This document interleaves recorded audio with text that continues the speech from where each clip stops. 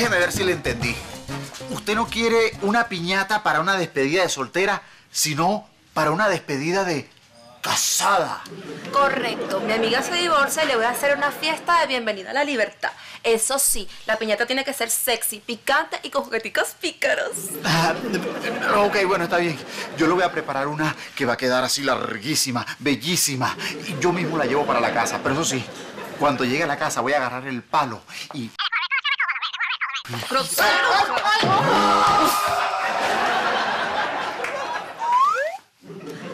Pobre loco.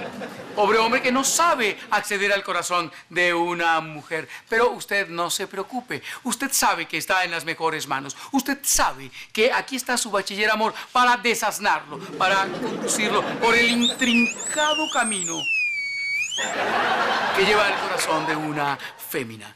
Tranquilo, observe al jonronero del piropo, tu bachiller amor.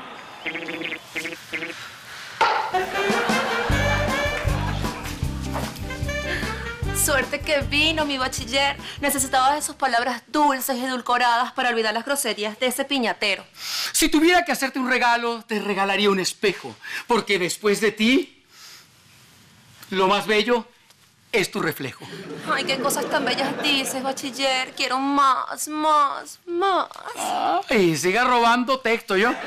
¿Qué le va a pasar como a la guaira? No va a pasar en noviembre. Pero ahí voy.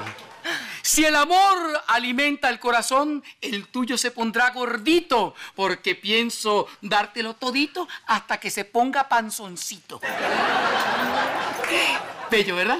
Y tengo más palabras para usted, más palabras dulces, más palabras almibaradas. Tengo las dos más hermosas del idioma castellano. ¿Y cuáles son esas dos palabras, mi bachiller? Vuélvamelo a preguntar. ¿Cuáles son esas dos palabras, mi bachiller? Ay, esta quiera que le... Bueno, en fin, vamos allá. Las dos palabras, cuente ahí. Una y dos.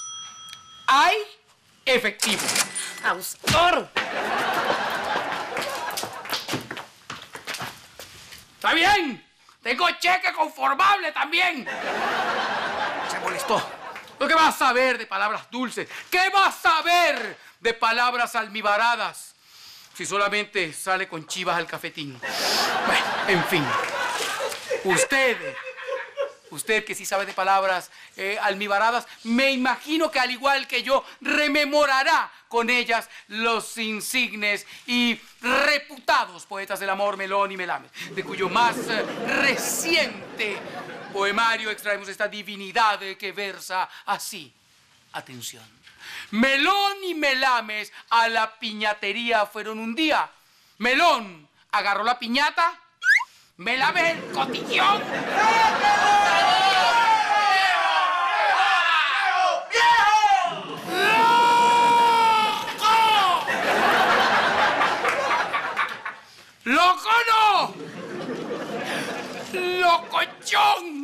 ¡Loco!